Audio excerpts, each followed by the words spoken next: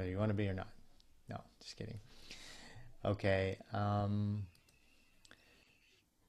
okay, just do a little test on your end, Greg, to make sure it's picking up your side. One, two, three, testing. One, two, three, testing. Got it. Okay. And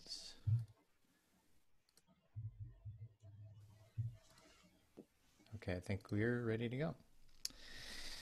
Okay, in three, two, one. hey, listeners, I want to welcome you all to a very special podcast that we are recording today. Now, why is it special? Because today we have one of my favorite thought leaders and author of a book that is without a doubt one of my top 10 reads of all time. You know, when you find a book or a philosophy or a quote that sings to your soul and changes everything for you? So, this author's book actually did that for me. His name is Greg McKeown, and he's the author of Essentialism. Essentialism is a New York Times bestseller. It has sold more than a million copies around the world. It's been translated into 25 different languages and voted a top 20 book on leadership by both Amazon and Goodreads. The philosophy, the philosophy of essentialism has been taught by Facebook, Apple, Pixar, Google, Twitter, and I'm sure thousands of other businesses around the world. The ideas and strategies in the book have been featured in Time Magazine, the New York Times, Fast Company, Politico, Inc. Magazine, Harvard Business Review, NPR, NBC, Fox, and The Steve Harvey Show. This book is one book that I couldn't put down when I read it. I've easily recommended it to dozens of people, and I also recommend it to all of you. I've read it twice now and applied the principles for essentialism over years and years of my life, and it will forever be on my bookshelf as a rereadable. So, who can get value out of this podcast? And I'm going to answer that question by quoting a passage from Greg's book. It's actually on page four. He says, Now, let me ask you this Have you ever found yourself stretched too thin? Have you ever felt both overworked and underutilized? Have you ever found yourself majoring in minor activities? Do you ever feel busy but not productive? Like you're always in motion but never getting anywhere? So I think that relates to pretty much everyone, and we've all been there multiple times in your life. So if that relates to you, grab something to take notes, you guys. Get ready because without further ado, the author of Essentialism, Greg McKeown. Greg, welcome to the show. How you doing, my friend? Such a pleasure to be with you. Thank you. Thank you. How did I do with that intro? Is that all accurate? I didn't mess it up. It, you did it perfectly. Okay. Just, good. just, just people should lower expectations now. You know that was the best part. we're, we're, we're, we're downhill from here. I, I, I beg to differ, man. This is here's the book, you guys. For those of you that are watching on video, Essentialism, um, definitely a top ten read for me. Um, I was a I, I was an essentialist before I knew what essentialism really was. Um, I think like back in 2006, I came home and I looked in my closet one day and I thought, why is all this crap in here? Like I haven't worn this stuff other than like this sweater that I might wear to a, a wedding or something. Like I haven't worn this stuff in a year. So, so I made that rule. I said, okay, anything in my closet that hasn't been worn in six months is automatically going to go and that was that was massive. And then later on, I became, uh, if you're familiar with the term digital nomad, where we travel the world and work remotely. So I did that for years, and literally living out of the suitcase. And and sometimes I had too much stuff for a carry-on suitcase, and it was like this is stressing me out. I've got to like, you know, you know, weed out some more stuff. But um, but I, I love the book, man, and um, and really to cover everything that's in the book. Um, and I'm sure it goes even farther, but to cover everything in the book, we would need a four hour podcast, but that wouldn't be very essential of us. Um, and uh, literally, when I saw this book, uh, and, and maybe you've had these times in your life, Greg, have you ever seen a book where you realize you know you're going to like that book and that book's probably going to change your life before you even read it? Well, I, I think I have had that experience, but it's a, it's a great compliment that you're suggesting that as you looked at the cover of this book that there was yes. something of it that spoke to you, you know, intuitively, emotionally, yeah. uh, even before you get to the content of it. I, I'm really, I love that that was the case for you. Yes, and and I'm I'm certain that I know many people that it's also changed their lives as well that have that similar feeling. So, um, and, and, that's what it was like to me. So this is the book, you guys, uh, Essentialism: The Disciplined Pursuit for Less, and um, yeah, before we dive into it, I just want to know, like, how's life, man? Where are you at? Are you doing okay during COVID? What are you doing? Or what are you doing to manage 2020? And we'll dive into like the story later. But how are you, man? Um, great. I mean, I I I feel I feel like 2020. Of course, it's uh, been an unexpected thing. Uh, it's it's affected everybody. Everybody has been affected, of course. Um, I think that there's opportunity in the madness. Um, I I myself uh, had a deadline to finish uh, a book by August, uh, and every day in COVID that I've worked on it, which is you know five days a week for sure through the last few months, I have found myself thinking, "What was your plan, Greg?" like, you know, this this forced constraint. Mm-hmm. Constraints have a great upside, and you know, if if you are constrained enough, all you can do is what matters most. Right and if you if you respond to constraints in that way i think sometimes they can be uh, you know really productive really uh, great experiences. And i know that's not true for everyone uh, but uh, but for me it's been uh, it's been quite a uh, quite a special time really. Yeah. And um, i mean the, the, the other advantage i think we've had which i think is just just fortunate is that we chose to homeschool our children a few years ago. They went to public school through a Spanish immersion program for six years. And, and then we said, okay, we'll try one child for one year after some friends of ours had had a great experience doing this. And, and that, that seemed to go well enough that we said, okay, well, we'll do two years. So they were eventually two years and two children. And we carried on going like this, just year to year thinking, well, look, every time you want to go back, you go back. And what it meant is that we had several years to adjust to a reality where I'm writing at home and our children are all at home. Mm-hmm. And even with that, COVID obviously requires adjustments. But I really feel for everybody who has had to make that adjustment instead of a five year change, they had, you know, five minutes to make the adjustment. And so uh, I've, I, you know, personally, we feel like we've, you know, done well uh, and uh, we you know still feel some of the, the, the tensions of this time. Um, but but really, it's been an opportunity, uh, and I mean, one of the things that I've learned from it is that this year, particularly for for people, is like walking at high altitude, hiking mm-hmm. at high altitude, where everything's a little harder than before. Uh, yeah, and, and, or a lot harder, but but everything's at least a standard deviation tougher. Uh, to go to the shops is just a bit harder than before. You know, to to figure out how work's going to work, to figure out how to navigate your business. Uh, maybe not a little harder, maybe a lot harder. Uh, yeah. But that's sort of the, t- the the times we live in right now. Therefore, we need a new strategy. Yes. Uh, if you try and simply well, frankly, if you try to hustle your way fully, like if you do 24 hustle, 24 7 hustle, I don't think it works in a high altitude reality. Mm. Uh, I don't know when the last time was you were in really, really high altitude, but but but our family we went on a, a family vacation last year to Peru, and we went up to this. Uh, uh, actually, no, I'm thinking of a different trip that we went on. But anyway, same idea. We're we're up in the mountains, and we're so high just walking 10 feet forward yeah was exhausting. Yeah. Well if you're in that environment you can't say well that's it. We'll just run up the mountain. We'll just charge ahead. I mean if you're already exhausted and it's already that sort of environment you've got to find a different way to make progress. Yeah. And uh, i think that's been i mean essentialism i think is part of uh, uh, an effective response in those challenging times. I, I think like so so many people that i've talked to whether conscious or unconscious of it, 2020 has been such a good reset for asking the questions, okay, what is essential? Especially like, yeah, especially in, in, in, in everybody's world. Like, okay, I need groceries.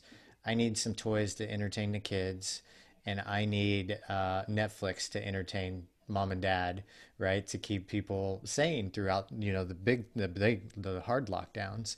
And then it's like, okay, who are the few people I need in my life, grandma and grandpa, and some friends to make sure at least the quality of our life is sustainable.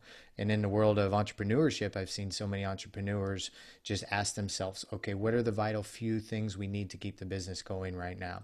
What are those things that we can focus on? All those other little projects, we can wipe those out. And, and it's been a great system reset for, for humanity um, in all parts of the world, you know, and uh, well, for people that are asking themselves those themselves those questions and applying them, and um, and yeah, it's so spot on. Um, so you you started so the the the the start of the book starts out with you having this you telling this story of skipping out on the first birth of your child um, for the first birth of your child the first child the when you had your first child, skipping out on that to go to a business meeting, and um, and then immediately figuring out that you regretted it, and then leading you down this path of asking yourself these essential questions. Do you can you elaborate a bit on that so we can get a, a context for the audience? The, the, I'd received an email from uh, a colleague that said Friday between one and two would be a very bad time for your wife to have a baby uh, because I needed you to be at this client meeting. Uh-huh. And Thursday night, we went into the hospital. My daughter was born in the early hours of Friday morning, uh, and so then Friday, you know, it, this this this meeting is looming, and I'm feeling torn, and I've got my laptop, and I'm feeling, how do I keep everybody happy, and how do I navigate this? And I'm straddling everything, and uh, and then you know, to my shame, I go to the meeting. Um, and afterwards, I remember my colleague said, Look, the client will respect you for the choice you just made. And the look on their faces didn't really evince that sort of respect or hmm. confidence. But uh, even if that was right, it is really plain and clear that I made a fool's bargain. Uh, what I learned personally from that was if you don't prioritize your life, someone else will. Mm-hmm. Uh, and that, you know, that has uh, certainly in part given fire for the deed uh, to go out, to write essentialism, to research it, to understand why it is we prioritize the way we do, uh, why we operate in the way that we do. Uh, and uh, essentialism, you know, was the output of that. And then I've had the opportunity to now teach and coach uh, people all over uh, in, in, many industries and many countries these simple ideas. So I found that it's not really just a business phenomenon. It's not a US only phenomenon it's not even a Western phenomenon. It's a it's a really it's a human phenomenon. Yeah. Uh, and and the state of the world, you know, even prior to COVID, and it's still true now, is such uh, that if we're not careful, we will get into uh, a non-essentialist cycle uh, yeah. where we just become more and more busy.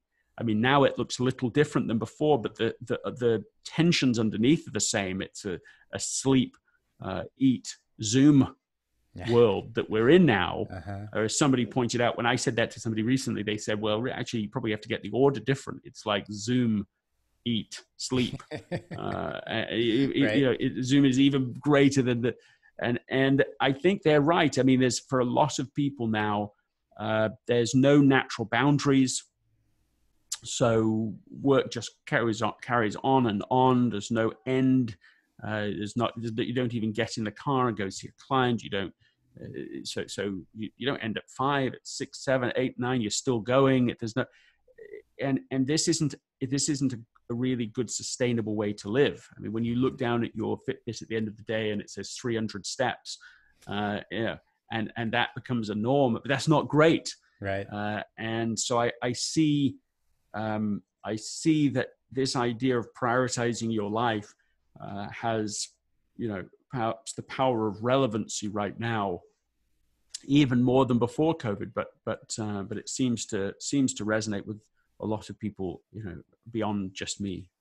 I, I always wondered when I read that story um, how how your wife felt about you going to the meeting.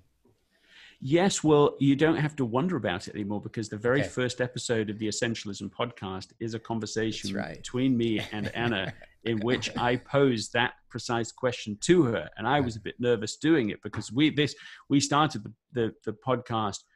It was supposed to be with my wheelhouse partners is with them but it was at a time when no one could meet. And so we were like on sketchy microphone uh, not knowing what we're doing not knowing any formatting brand new to it. It was a very uh, particular you know that kind of um, scrappy way of starting yeah. and so we started this uh, but and we didn't know where we were going with it we didn't create a plan or a structure we just started talking to each other and uh, but in the end i i thought yeah, we just got to start there. There's there's no other place. We need Anna's point of view and her feelings uh, about that moment, and uh, people can go and listen to it. Uh, I won't do it justice to try and summarize her words. You're going to put us on the hook and make us go listen. Okay, that's good. Let's let's jump in. Like so, if you guys you guys watching on video, you can see. Uh, if I do this here, see my book. Like literally, I have dozens of highlighted uh, passages throughout Greg's book there. You can see quite a few. So I'm going to buzz through some of my favorite ones and just kind of talk about them with you, Greg. And um, so the first, like, you, one thing I appreciate about appreciate about this is you dive right into it. Here it's on page 15. You start talking about decision fatigue, and the more choices we are forced to make, the more uh, the more the quality of our decisions deteriorates. And this is a thing that's outlined in today's world. Like there's even an, an, analogy amongst the millennials, I think, with FOMO, like fear of missing out for this other event or this party or this engagement or this business idea or whatever it may be. Um, and then they have an even newer uh, analogy um, for JOMO, joy of missing out. And that's one I've been applying on a regular basis since I heard it. Um, you know, not going to that party or that networking event or, or pursuing that opportunity or starting that new business idea, um, which many entrepreneurs are very guilty of trying to do. And, well, and I just, I don't mean yeah. to interrupt you, although even though I am, uh, because because the I just interviewed Patrick uh-huh. McGinnis, who's the person who came up with the term FOMO. Oh, really? Uh, yeah, and so he's written a book of the same name, and he's a, another interview in uh, you know podcast oh, episode, oh, Patrick McGinnis on FOMO, and it was fascinating to hear uh-huh. how how he you know came up with that, and he has the the best mic drop moment in any party because he gets to say, well, yeah, I, you know, I came up with a word, I published a word that, that is now in the dictionary. Yeah. Uh, I mean, not many people get to be able to just launch that, but hearing him and his journey was really fascinating about, I mean, he's thought about that term FOMO for longer than anybody else, deeper mm-hmm. than anybody else. And, and I found myself, you know, definitely educated by him. Oh, that's phenomenal. Okay. So there's another episode we need to check out on, on uh, Greg's podcast. So, so, where can you tell us about a time you had decision fatigue and and kind of maybe your process of working through um, that decision fatigue and the light at the end of the tunnel, how the results on the backside of that? Um, I've I was once taught by a mentor that if you can't point to an example of a principle in the last few days, you you're not living it. Mm-hmm. And and so I, I want to try and draw from that and think about right now. Um, I, I think I just mentioned it already, but just finished uh, writing uh, a new book, and and as I finished that, right, August is the, the end of August. Um, I felt as I was coming out of monk mode a natural, not just a pressure to get to you know maybe backlogged emails or so on. But i was operating at such a high intensity by that point i want to take advantage of it. Just take on the next thing. Let's go. Let's let's let's run. And anna was was wise enough to suggest well maybe maybe you should take a couple of weeks uh, and let's together let's create proper space to talk to think to dream to plan that and, and especially that word dream was a, a really great word for her to put on the table because there's a big difference between productivity and being an essentialist. Mm-hmm. You know, productivity is doing more. Just keep doing. Do the next thing. Do as much as you can. Being an essentialist is about doing the right things. Mm-hmm. In order to discern the difference, you have to create space. And so, what I did is practically how I approached that is the first thing I did is I looked at the calendar over the next two or three weeks and I noticed, first of all, there was more scheduled than I realized mm-hmm. uh, because there's a lot of stuff had been pushed there because I was finishing up the book. My assistant just scheduled it after that deadline date. Secondly, I thought, well, I'm just going to book everything that I can, every space I can is currently not booked, I'm going to book right now. Mm-hmm. I'm going to ask my assistant, and I'm going to make the commit myself, don't put anything else on the calendar, right? So nothing else adds. Uh, and then let me go through every single thing and uncommit, see if I can't push this out a little longer. Um, and the benefit of doing that, for all I know, for all I know, this was rescheduled. I don't even know. Um, this was, but yeah. there you go. So you were, you were a part of this process, I'm afraid. Yeah. Um, but the power of it was unbelievable. I felt like I was having a rebirth in essentialism. That that was the upside of it. I felt like I was experiencing what other people talk about experiencing when they read essentialism. And I'm I'm an aspiring essentialist all the time, but it was a, such a distinct experience to just go um, to to be able to take every new request and weigh it carefully, and to be able to start discovering a renewed way of living, a different way of living, where you are creating space to think and dream and talk and imagine what's next and how could we do it. And and and you that non-essentialism begets non-essentialism. Right. Begets busyness. Uh, so so you you don't notice it's happening because you're so busy. Right. And so you just run from a meeting to meeting to meeting, Zoom call to Zoom call, every and and you think you're doing the right thing because look how much I'm doing. But the most important things might not even be getting into your mind. Yeah. Because you're in such a productivity mindset. Yeah. My, my essentialism isn't doing more things, it's doing more of the right things. Yeah. And, and that is the key. So creating just space. I mean, it's not, it's not easier than that, but it's not more complicated than that. Yeah to me, to me, this is this is what I, I could have easily fallen into pretty heavy decision fatigue, and this was a way of clearing my head and clearing mind, and then in that more relaxed state, great ideas and insights have come and are still coming. Well, I love the the part in your book when you talk about the um, the word priority wasn't even plural until the early 1900s, right? It was just a singular word talking about one thing for 500 years and then all of a sudden somebody's like ah oh, we need more than one priority and um, and it really makes sense and even though we probably all have more than one priority in our life right like we we have, well we all you, go ahead no you, you asked a question no i was just going to say like how do you so you know my priorities are spiritual life uh, family health and work in that order, right? So, uh, how does that work out for you? Um, referring to that, uh, you know, how do you manage those priorities or priority? Yeah, look, we we can we all have more than one important thing. Yeah, we can have multiple goals. We can have multiple important projects. I mean, you know, it's not it's not um, it's not contradictory to have multiple activities that matter. Yeah. But the, the use of the word priority is just so useful to have a word that means the very first one. Yeah. And that's the whole point of the word the priorist thing, priority, singular, one thing.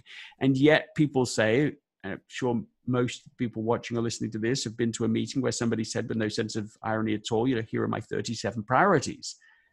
And they actually do seem to mean all of it has to be done first, now, yesterday. and, and, so, and, and hustle culture doesn't always help with that. Right. You just, everything matters. Everything's important. Everything's urgent. We got to do it all now. Well, you can't do everything now.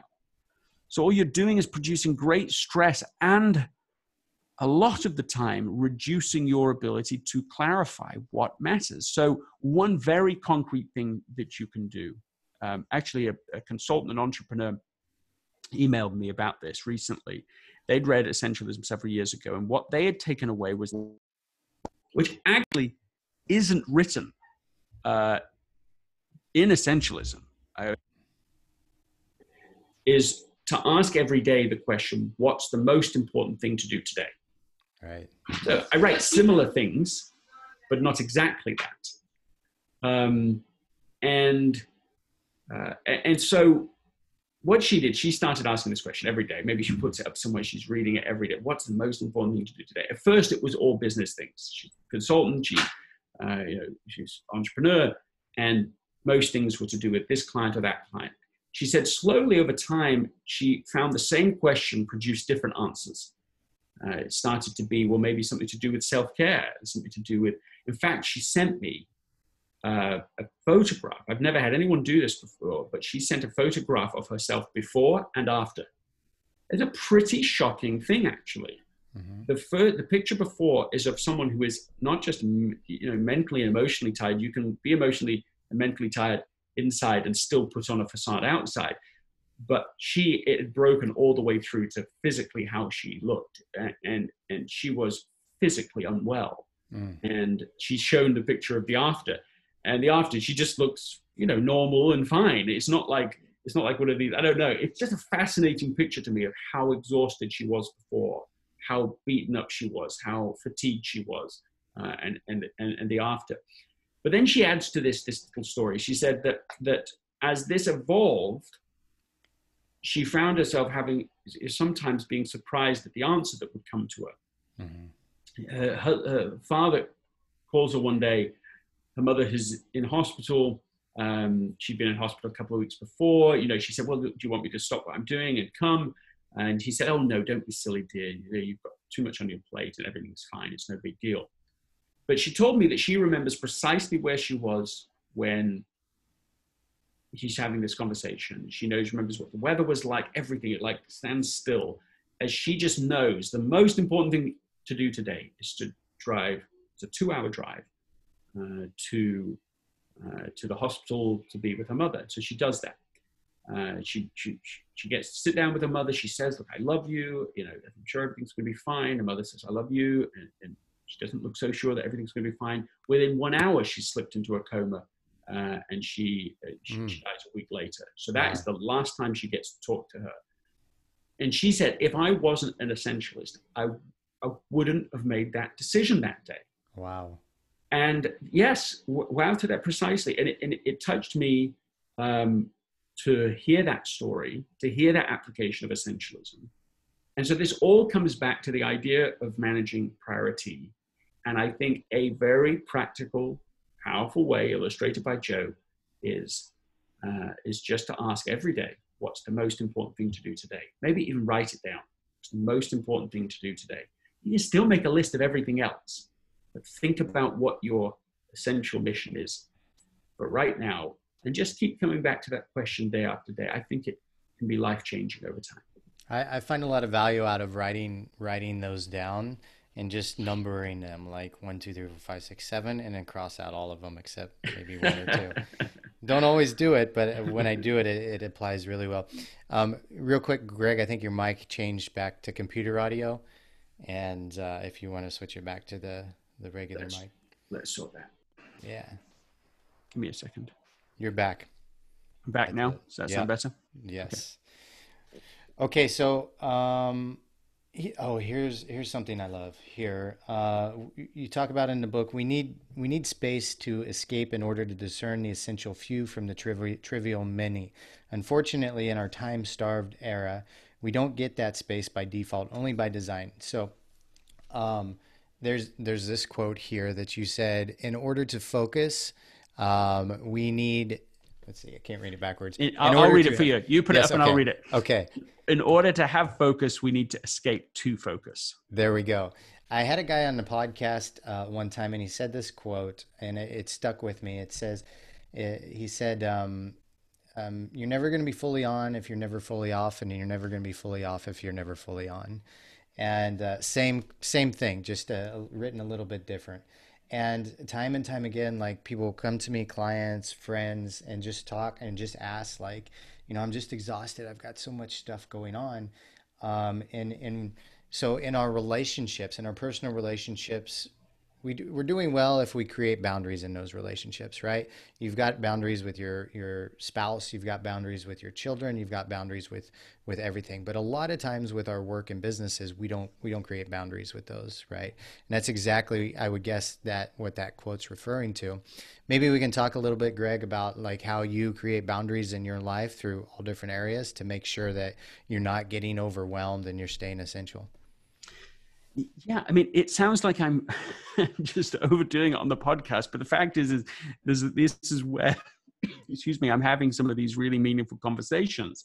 And one of them recently was with Ben Bergeron, who's um, he he he trains uh, CrossFit uh, superstars. Uh-huh. Basically, he trains the fittest people in the world. He's an Ironman athlete himself, uh, uh, um, and and I had heard about him when I was on someone else's podcast. They talked, they said, Oh, do you ever heard of Ben Bergeron? I hadn't, but he, they said, Oh, well, Ben, he's a total essentialist and you should definitely talk to him. And they said, what he does, one of the things he does is it is it when it it goes at 5:25 at night, when he's at the office, he will leave whatever meeting he's in. Unapologetically, he just starts packing up like and that. he's just walking to the door and he's literally getting to the door. And at 5.30, he is just literally out of the door, no matter what. Like they that. said, they said, he, he, it, so I was really intrigued by this. So I, so I look him up and we, we get introduced and uh, have him on there. And, and he did, one of the things he did, which is fascinating is that he selected what his, you know, his essential values are. He chose five he did this in a Google Doc. In the second column, he identifies uh, metrics that would that would show whether he's really doing that okay. value. Mm-hmm. So his first value, uh, it's evolved over time, but it became family first, and he had five criteria, you know, metrics that he could measure. And one of those was the item that I just mentioned. Uh, he knew he wanted to be home by six o'clock on the dot and that meant he had to be leaving a meeting at 5:25 because it took 30 minutes to drive home. Yeah. Right. So this this I asked him. So you know, how often have you done it? So about a three year period that he was keeping this uh, this doc in place, he did it 75 percent of the time. Okay. Which I just love because that's like for real. You know, like we know the date he really did it. And and even before I knew the specific system he had, I felt inspired uh, partially because I had in my head that this man does 100% of the time, you know, like uh, it, it, it, I felt inspired by this other essentialist to be more essentialist myself. Yeah. And so in COVID, what, what I chose to do is I said, okay, five o'clock, I am going to walk out of this office and I will announce like a town crier to the family what time exactly it is. Uh-huh. And so, you know, if it's 501, that's what I'm yelling. 501. If it's 459, 459. And I am trying to make it so that it's not later than five and it's awfully fun to do it. Uh, you know, they, you know, other people, you know, they know it's a bit of fun, but it also signals to people that there's an actual end time. And for me, it gives an excuse to do it because without the excuse, what difference does it make? You say, well, it's 5.30, 5, 6, 7. So why, why stop at 7? Is it 7.30? and, and then, why 8, 9? And on it goes. You know, there's no natural end. Mm-hmm. And so this is one of the ways that I have set boundaries, particularly in COVID, uh, that has been fun, but it's it's had you know some pretty useful benefits to it. Right.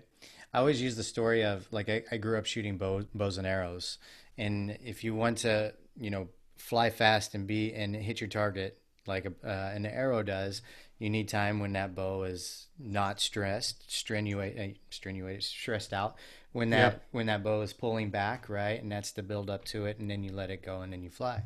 Same mm. thing. Like we need time off, and that that takes me to the next point here that I want to talk and talk about. That so few people really ignore and and you say the quote here is play doesn't just help us to explore what is essential it is essential in of itself and richard branson even says play is a responsibility we need to nurture that mm-hmm. on a mm-hmm. regular basis right and so few adults really play and then quite often if they do play it's with probably drugs and alcohol or mm. and, and unproductive unproductive habits on on um, habits that, that uh, are destructive.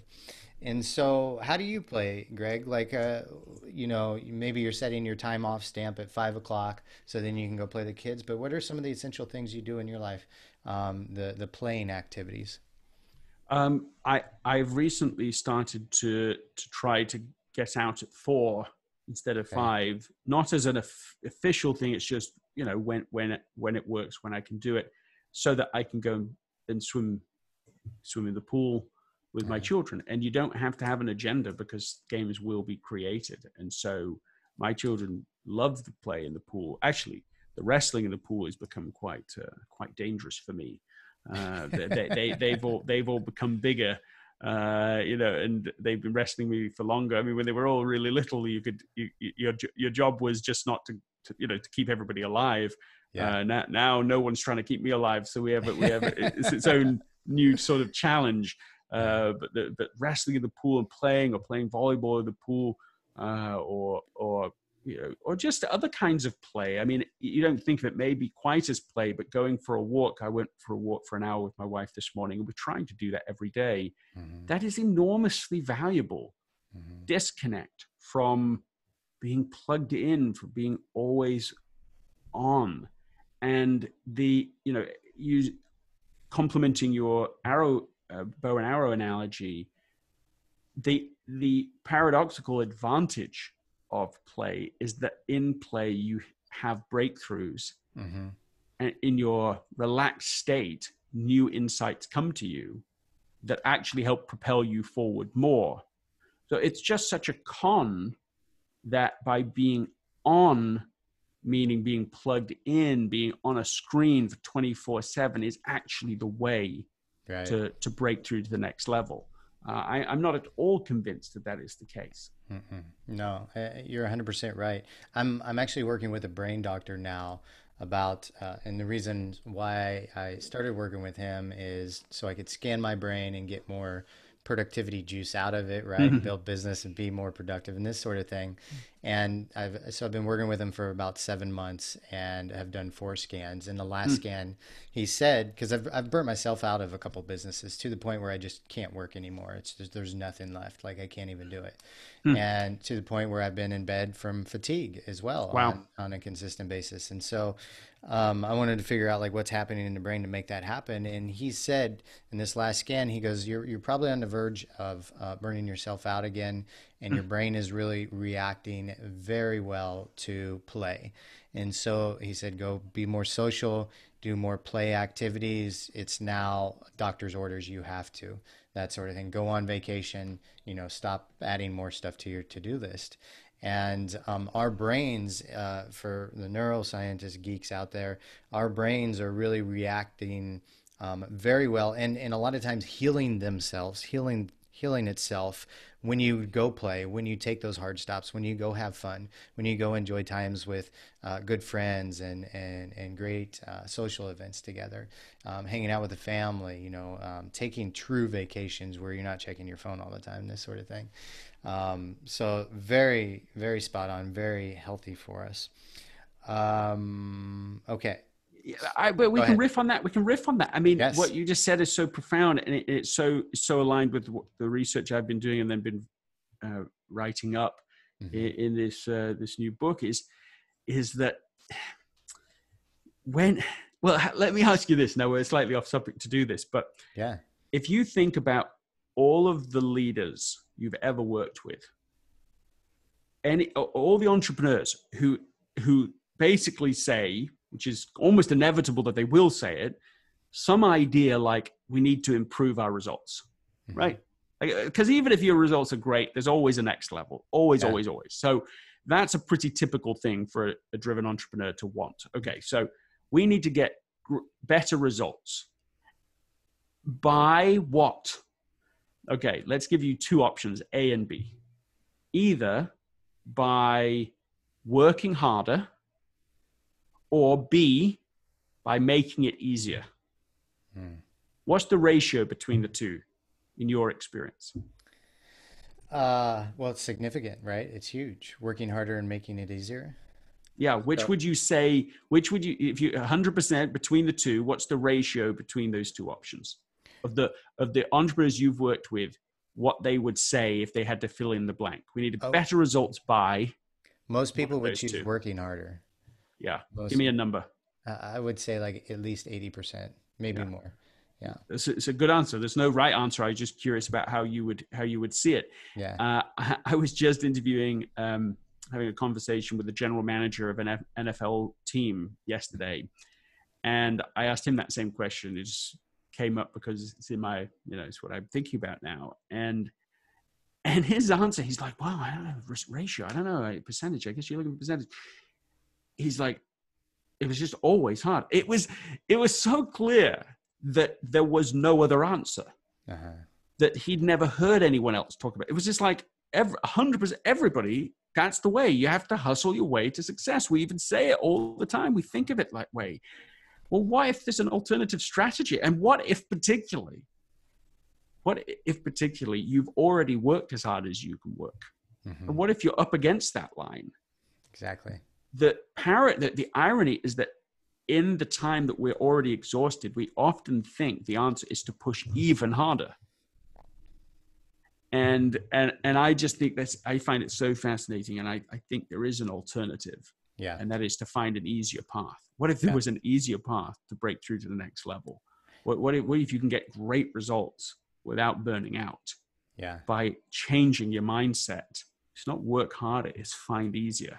Yeah. Uh, this is very much in my mind right now. I think uh, we're taught that by so like if you imagine say just a movie about football, right? And American football.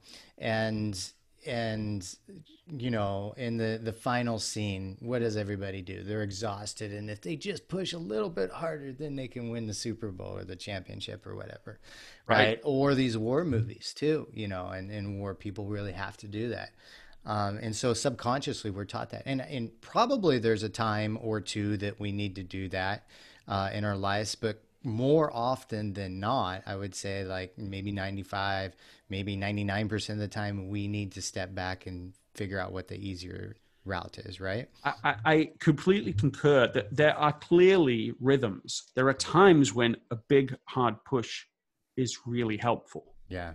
Uh, but the idea that that becomes the norm yeah.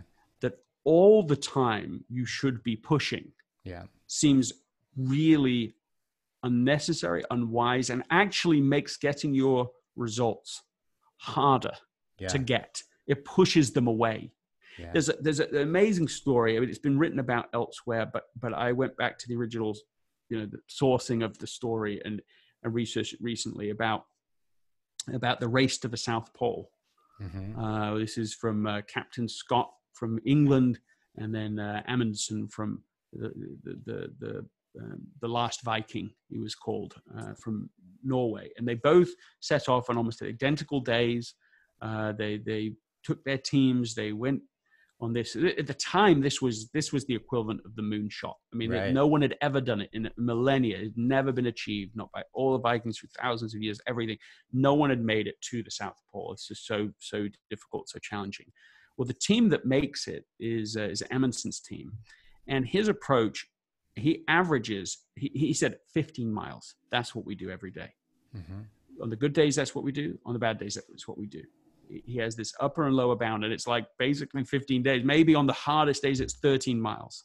Mm-hmm. Uh, the, the, best days, though, and that's part of the, the cleverness of his approach, is on the best days when he could do 30, 40, even 50 miles on the best days, he would still say 15, including the last three days. So imagine three days before reaching the South Pole, you do not know if your the competitor team is ahead of you or behind you. You have no idea.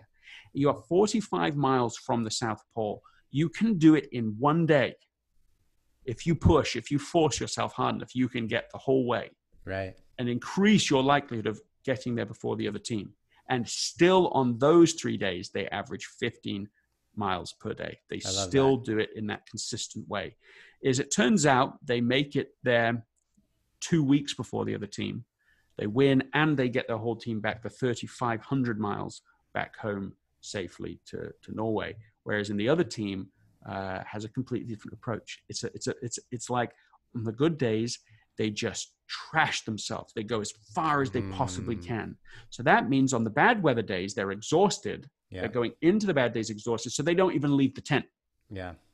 and they're so burned out inside they just look out the tail oh, it's no chance we can't make any progress today and so they bemoan the w- bad weather days more than the other team because they're more exhausted yeah the, the, the, so their peaks are higher and their valleys are lower and actually over time what that means is that they made far less progress and on the way back they're exhausted discouraged uh, and they all of them die on the way home not oh, one wow. of them make it home oh man this idea of pacing is an under emphasized message for entrepreneurs. I mean, it's almost unheard of message for entrepreneurs. The, the, the story we're being sold is 24 7 hustle. That's the way to be successful. And I'm not saying you don't have to work and be focused, but pacing yourself yeah. is actually the key. Yeah. It's to be able to not just be up for it for a day or a week when you launch the idea and you're excited about it. it is just to keep going day after day consistently over a long period of time. And it's extraordinary the results that come from such consistency. That is how you get breakthrough, extraordinary results. Spot on. I love that. Um, I, I, wanted to ask about uh, so you start talking about about halfway through the book um, having hell yes decisions. So mm-hmm. hell yes decisions um, was a TEDx talk, and I think Derek Sivers put it on, and he was talking about it's either a hell yes or a no. If it's not a if it's not a hell yes, if it's not a ten out of ten, then yep. you close the door and you go forward.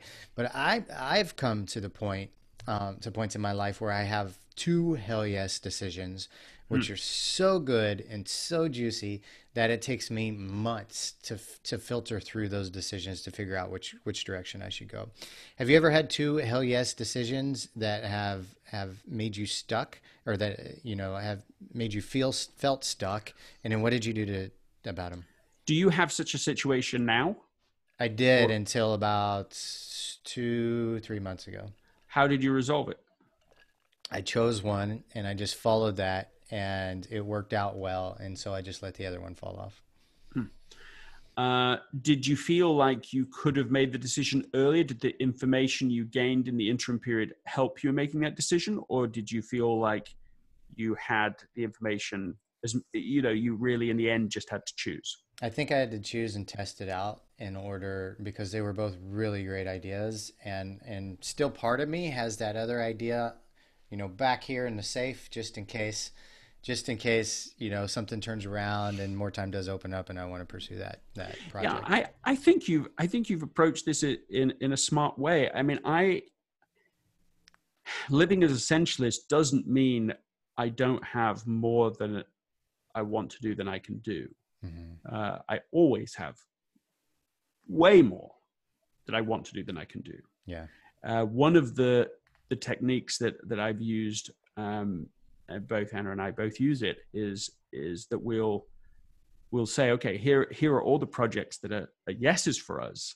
These are these are great things, but there's a there's a you know we have them in storage, and so each month we're looking through them and we're thinking through and carefully curating which ones come next. Mm-hmm. And so I think that I don't think you should be afraid of having two or ten have as many as you like you know definite yeses but don't try to even do all of those at once. Right. Because because you you won't be able to do it. And so that's one way to to i think to prioritize is to say okay i can only do one.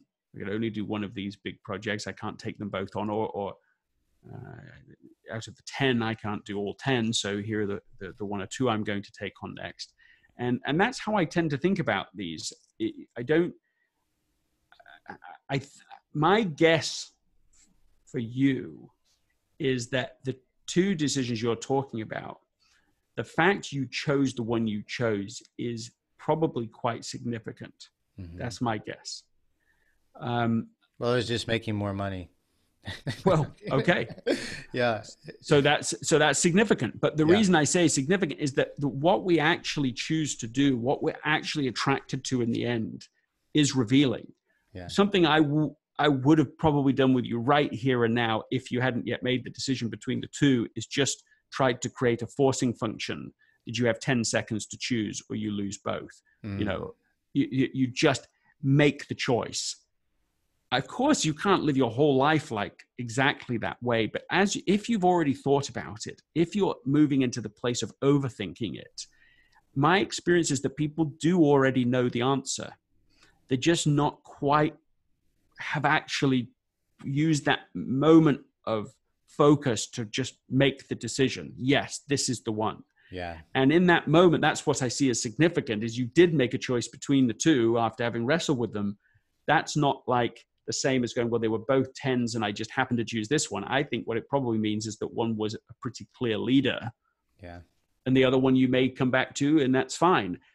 Uh, I, I think that when you have the two, forcing yourself to make a choice and just is, is a perfectly reasonable thing. I mean, in a way, in a way, you're guessing, uh, and and and I, I, think overthinking can be quite a quite a non-essentialist curse.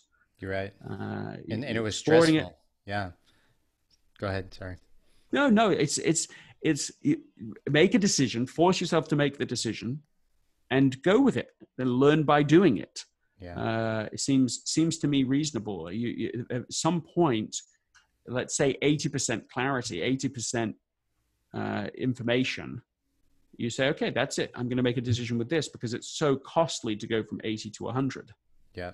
Uh, so I'm not saying make decisions with 5% information, but after you've gone through a process of thinking, and here are two options, make a decision. If necessary, flip a coin. I mean, literally, just choose one so that you can go rather than straddling longer and longer between two options. Uh, you know the old phrase, uh, you, you, know, he who tries to go after two rabbits loses both. I don't know. Yeah, I'm yeah. not saying that right, but the idea is there. Yeah. You're not going to catch two rabbits. So making a choice seems to me sensible after somebody's done a done done some thinking about it. That makes total sense because I always I tell friends and clients, and all the time I tell them, okay, if if you don't have the decision in five minutes, and the person you love most in the world dies. Uh, right. right. Yeah. And right. But I just give people 10 seconds. that's, that's even better.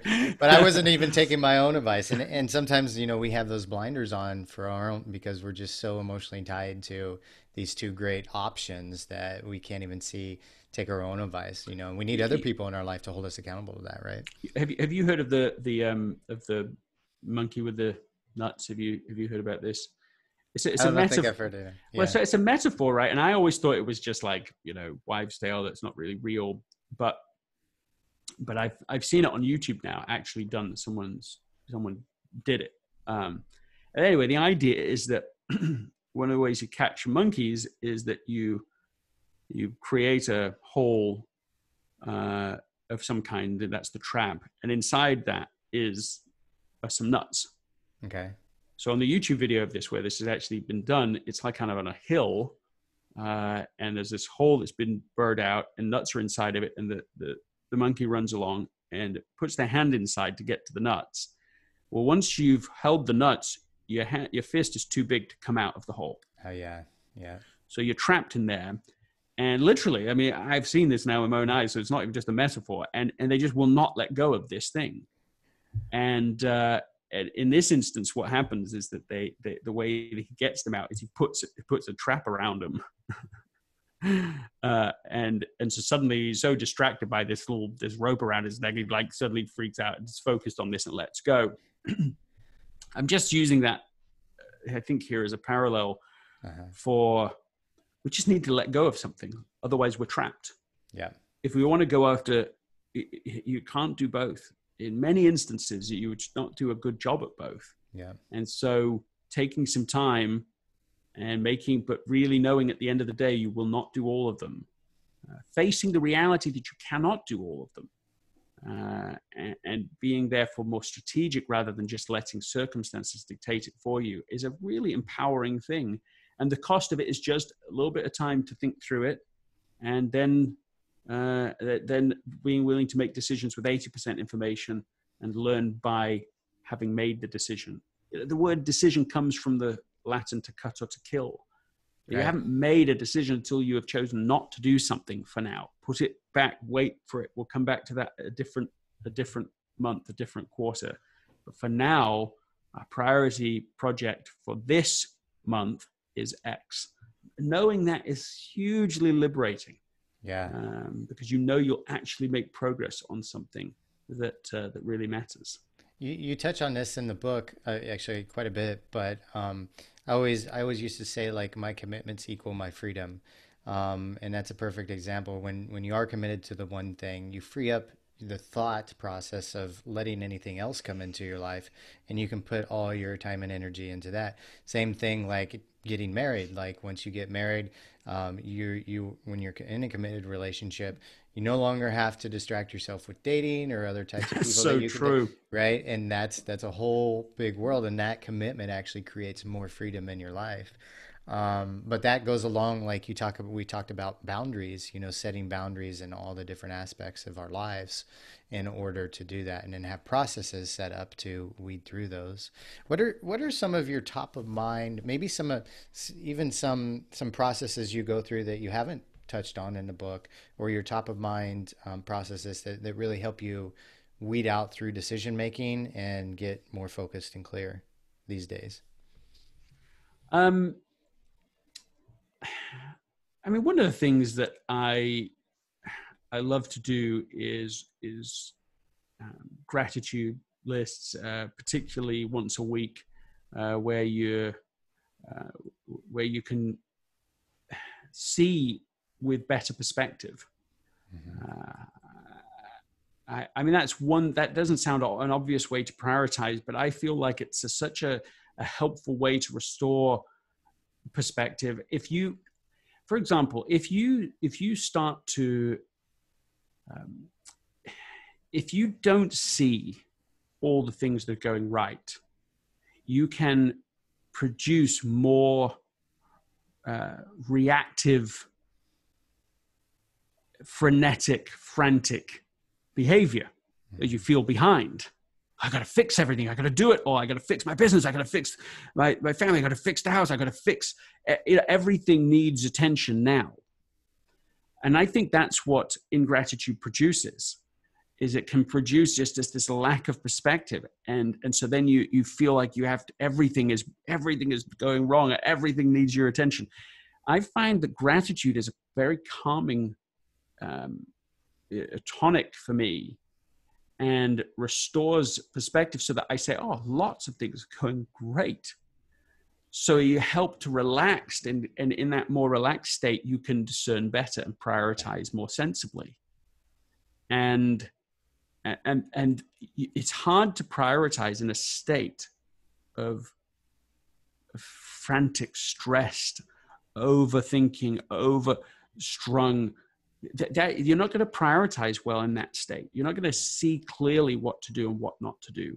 And so I find gratitude, you wouldn't normally think about gratitude as a productivity hack, um, but I think it is because it helps you to see what's good, what's working, what you want to build on, uh, and helps you to, to know look, I don't need to do 50 things today.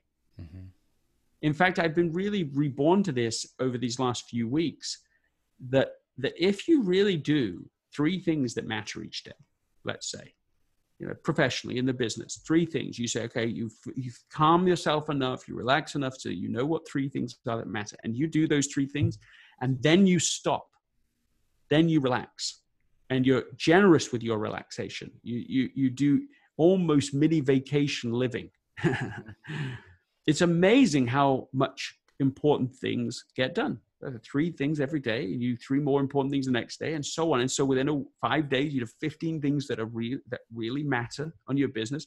That's way more useful yeah. than than a week's long where you're doing a bunch of stuff all the time but the important things aren't getting your attention. It's it's like it's like a it's almost like discovering a secret passageway in an old house. You know like when you're a kid you dream of like how cool it would be to find that little you know, under under the house and between, you know, these secret passageways. That's how it feels. I feel like it's almost like discovering a secret passageway yeah. uh, of life, of how to do work, how to live.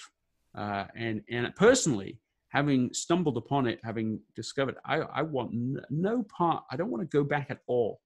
I have no interest in going back into sort of the, the rat race. How does somebody, excuse me, said to me recently, you know, I don't want to be the smartest rat in the room or something like that. Mm-hmm. Uh, I, I, don't want to go back into the rat race. I don't yeah. want to. I don't want to live the way I've, other people are being told they have to be successful. There's a different path to be to, to create high contribution. And my priority project right now is to create an online essentialism class. Yeah. Doesn't sound that profound. Uh, it's kind of obvious. People have been asking me for years and years to do it. Uh, but here's what's great it's not just, hey, we're going to do it. It's that I can say I'm going to do it now and I know it really will happen. That's that's enjoyable. Yeah. Not just, oh, at some point, yeah, I'm doing this and it's going to get done. And what's even better than just that is that it's such a pleasure to be working on it with a feeling of like, because it's singular, because it's so focused, it's going to be good. You know, hopefully, it'll be great. A great thing about the online course, of course, is that you can keep improving it and, and, and tweaking it, improving over time. So whatever Right. we start with, it'll be better a month later, and two months later, and ten months later, and ten years later. I, I love this. I'm so excited about doing it uh, and paying attention to everything. I was working with a web guy yesterday on it, and uh, and and just the design of it and how we want it, the page to look and feel, and to not do any of those things the rushed way Yeah. Because you have to, because that's what entrepreneurs do. Just just to do it in a way that that you love every bit of it is uh, is a pleasure. I love that. And I look forward to when that course comes out and I'll be signing up and joining it for sure. I, I- love that, Chris. First person signed up. Yes. I'm building it for you. Got What me. what do you want on it? What is it that you want in it that would make it great? Uh, pretty much everything we talked about on here. I, I already got the juicy questions out on you. Like, uh, I, I want to wrap up by by reading this passage towards the end of the book, and I feel like um, the audience would really like this, and it, it's really pretty profound. Um, so this is the essential life, living a life that really matters. Um, when I need to remember of this, I think of a story. It's about a man whose three year old daughter died. In his grief, he put together a video of her short little life. But as he went through all of her, all of his home videos, he realized something was missing. He had taken video of everything, every outing they had gone on, and every trip they had taken. He had lots of footage, but that wasn't the problem. Um, and that wasn't the problem. But then he realized that while he had plenty of footage of the places that he had gone, the sights that they had seen, and the views they had enjoyed, the meals they had eaten, and the landmarks they had visited, he had almost no close up footage of his daughter herself. He had been so busy recording the surroundings, he failed to record what was essential. Um, this story captures the two most uh, the two most personal learnings that have come to me on on the long journey of writing this book. The first is the exquisitely important role of my family in my life. At the very, very end, everything else will fade into insignificance by comparison. And the second is the pathetically tiny amount of time we have left in our lives. For me, this is not a depressing thought, but a thrilling one. It removes fear of choosing the wrong thing. It infuses courage into my bones. It challenges me to be even more unreasonably selective about how to use this precious, and precious is perhaps too insipid of a word, time. I know of someone who visits cemeteries around the world when he travels. I thought this was odd at first, but now I realize that this habit kept his own mortality in foe. Whatever decision or challenge or crossroads we face you face in your life, simply ask yourself, what is essential? I love that man. um we're going to wrap up there, Greg. Uh, I want to thank you so much for coming on the show. Thank you for sharing up all your ti tips and tricks and wisdom with us. If the listeners want to reach out and learn more about your podcast, possibly uh, put them on suspense for the new book that's coming out, uh, where can they find where can they find all your information at? Uh, I, I just essentialism.com. Just that one place is probably a, a, a good hub. Uh, and and as we as we evolve, um, that's people can be a part of that evolution there as well. Cool. Any final tips for the listeners before we wrap up? Um, I, I well, maybe it seems self-serving, but I, I, when you were reading that, I felt quite touched by that myself, and and uh, just uh, I mean, just put those two together, those two ideas, uh, the pathetically short amount of time, mm-hmm. and the unevenly how unevenly important life is. Some people and activities are so much more important than others. If you put them together, you have, I mean, that is the evocative case for living as an essentialist. Uh, you can regret a lot of things. I mean, the person I'm talking about in that in that story, the second person that goes to the cemeteries, has passed away now. Mm. I mean, that's it. I mean, he, he it's kind of powerful to hear that story again now that that he's gone. Yeah, uh, he was remembering that all the time. We, all of us will be gone, and not very long from now, and we won't. We all will have regrets but choosing to be an essentialist, you know, that's not going to be one of them. Yeah. Uh, and and so I I feel myself inspired as we've had this conversation uh, to to be more essentialist myself to live by these things uh, because this is this is life. Uh, if, if you don't prioritize your life, someone else will. I love that. We'll wrap it up there, listeners. Thank you for tuning in once again. Greg, thanks for joining us, and we'll see you all in the next episode. Goodbye, everybody.